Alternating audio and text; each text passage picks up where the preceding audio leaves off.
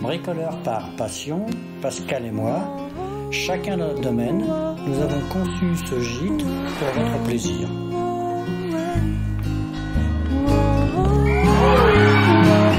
Nous sommes 42 000 propriétaires. Nous sommes tous différents. Gîte de France, partageons des moments uniques.